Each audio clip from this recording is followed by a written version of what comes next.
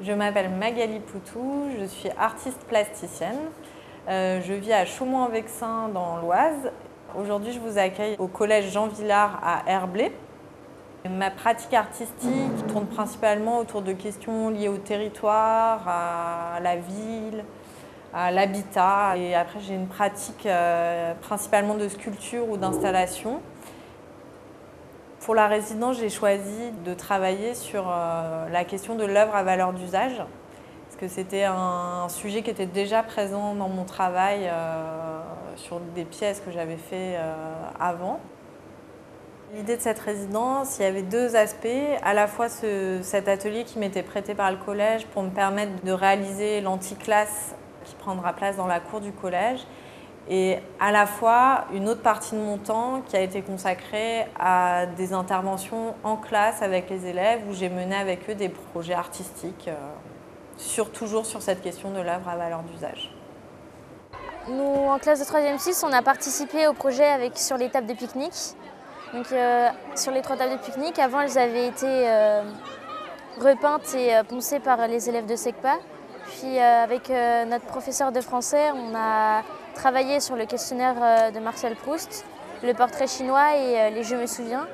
Puis après, à l'aide de pochoirs avec soit de la peinture, de Tipex ou de tampons, on a posé nos phrases qu'on avait faites. J'ai proposé de réaliser une œuvre pour la cour du collège. Donc, dans cette idée de l'œuvre à valeur d'usage, j'avais envie de faire quelque chose pour le lieu. Et j'ai imaginé une sculpture, une euh, sculpture installation qui s'appelle l'anticlasse. Donc c'est une œuvre qui se constitue de trois îlots. C'est un petit peu des sculptures avec des formes plutôt abstraites, plutôt géométriques, assez simples, mais qui en fait déclinent des éléments. Donc il y en a une qui s'est appuyée sur l'idée d'une table, une autre qui s'appuie sur l'idée d'un siège, d'un tabouret, et une autre sur l'idée d'un pupitre. Les élèves, ils ont été impliqués sur ce projet, euh, déjà parce qu'ils ont, en classe, je leur ai expliqué ce que j'allais faire. Ça a donné lieu à des discussions autour du projet sur la question des usages. Quels usages il y avait dans le collège? Et puis, du coup, été à l'écoute des besoins, des manques. C'est des échanges en classe qui m'ont permis, moi, de comprendre la vie du collège, comment ça se passait dans la cour. Ils m'ont beaucoup raconté. Tout ça, moi, ça m'a nourri, ça m'a aidé. J'ai fait une récolte d'antisèche auprès des élèves pour avoir cette matière-là, en fait, des mots que j'allais venir graver sur les sculptures.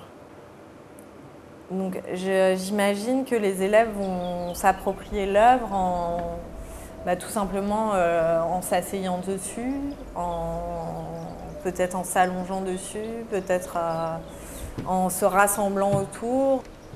C'est une appropriation qui se fera peut-être par l'écriture, puisqu'il y aura ces, mots gravés. J'attends qu'ils aillent lire, qu'ils aillent regarder ces mots, qu'ils aillent chercher, peut-être essayer de comprendre est-ce que c'est juste des lettres dans le bazar, est-ce qu'il y a des mots qui ressortent.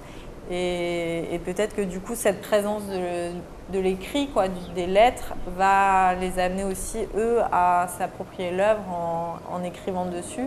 Après, voilà, c'est pas quelque chose qui est, qui est souhaité, mais euh, pour moi, c'est quelque chose qui risque d'avoir lieu et que j'accepte. euh, J'accepte en mettant l'œuvre dans la cour que qu'elle soit, puisqu'on parle d'appropriation, qu'elle soit appropriée de manière totale quoi, par les élèves.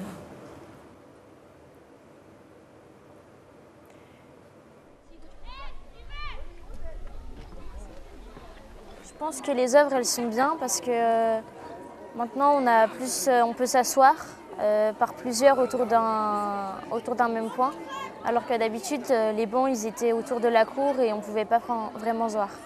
C'est attirant, c'est très utile et ça peut nous faire passer le temps. On peut s'y asseoir et, euh, donc se reposer. Bref, c'est utile. Et puis ça décore un peu la cour qui est assez, qui a des couleurs un peu euh, tristes. Ce que je trouve bien, c'est justement l'originalité et euh, le fait qu'ils mettent en plus des mots croisés. Je pense que ça pourra non seulement aider euh, les personnes, je ne sais pas comment encore, les gens ils vont s'amuser en tout cas.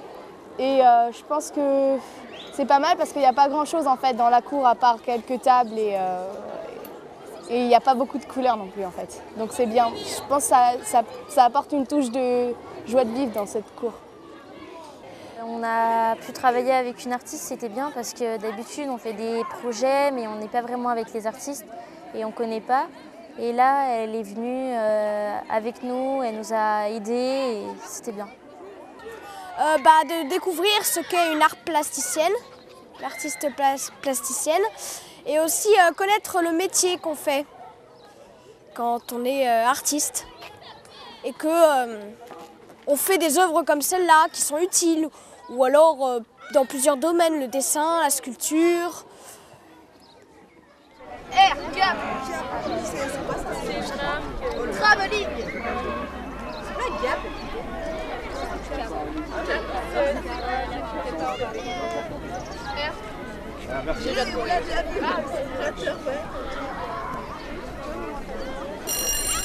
Euh,